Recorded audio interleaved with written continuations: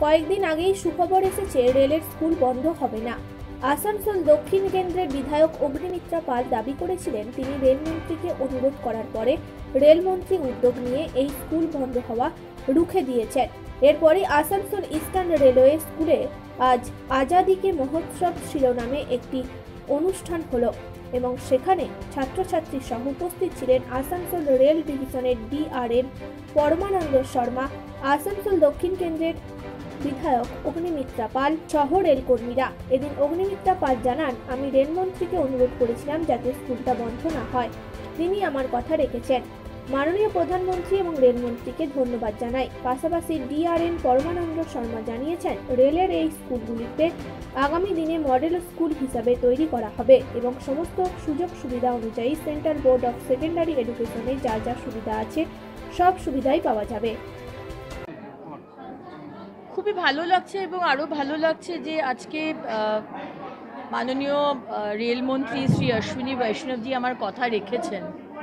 মাননীয় প্রধানমন্ত্রী আমার কথা রেখেছেন। আসলে আমিও তো এখান থেকেই বড় হয়ে ওঠা, জন্ম, এই তিনটে স্কুলকে ছোটোবেলা থেকে দেখে দেখে এসেছি। এই স্কুলগুলোতে আমার বন্ধুরা পড়তো। আর সেই স্কুল বন্ধ হয়ে যাবে এটা মানে কিছুতেই মেনে নিতে পারছিলাম না। কিন্তু সবটাই ওনাদের ওপর ছিল, ওনারা মেনেছেন। আমার সম্মান রেখেছেন আমি কৃতজ্ঞ তাদের কাছে। আজকে এসেছি? এখানে আজাদিকে অমৃত মহোৎসবের আপনারা জানেন আমাদের ভারতবর্ষের স্বাধীনতার পঁচাত্তর বছর সেলিব্রেশন হচ্ছে এবং সেই সেলিব্রেশনেরই একটি অনুষ্ঠান আজকে হলো। যেখানে টপিক ছিল যে পেট্রিয়টিজম আমাদের স্কুলের বাচ্চারা ছোট বাচ্চারা তারা কীভাবে পেট্রিয়টিজম দেখাবে? দেশের জন্য প্রাণ দেওয়াটাই কি পেট্রিয়টিজম নাকি অন্য কিছুকেও পেট্রিয়টিজম বলে? এবং এই এই সব নিয়ে স্পিচ দেওয়া স্পিচ লেখা পোস্টার বানানো, বিভিন্ন কম্পিটিশন হয়েছিল। আজকে তার অ্যাওয়ার্ড ফাংশন হলো আমি এবং অনারেবল ডিআরএম স্যার ছিলেন। খুবই ভালো লাগল।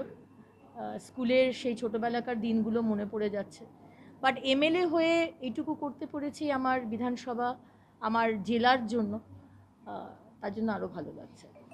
इस स्कूल को मॉडल स्कूल की तरह डेवलप किया जाना है और जैसे निर्देश आए हैं रेलवे बोर्ड द्वारा माननीय मंत्री जी के अप्रूवल से कि जिन जिन स्किल स्कूलों में छात्रों की संख्या सफिशिएंट है शायद तो उन सबको मॉडल स्कूल की तरह जो central board of secondary education की गाइडलाइन है उसके हिसाब से सारी फैसिलिटीज़ बना के और स्कूल को आगे बढ़ाना है। हाँ मतलब हर चीज़ जो फ्यूचर में जैसे डेवलपमेंट्स होंगे जैसे मैंने बोला कि समय के साथ सारी चीज़ें आएँगी। स्मार्ट क्लासेस भी आएँगे, सारे लेबोरेटरी सब अपग्रेड होंगे प्लेस ग्राउंड्स वगैरह में भी जो फैसिलिटी चाहिए डिफरेंट एक्स्ट्रा करिकुलर एक्टिविटी उन सब में भी इनपुट दिया जाएगा। Soumitra Ganguly report Times Bangla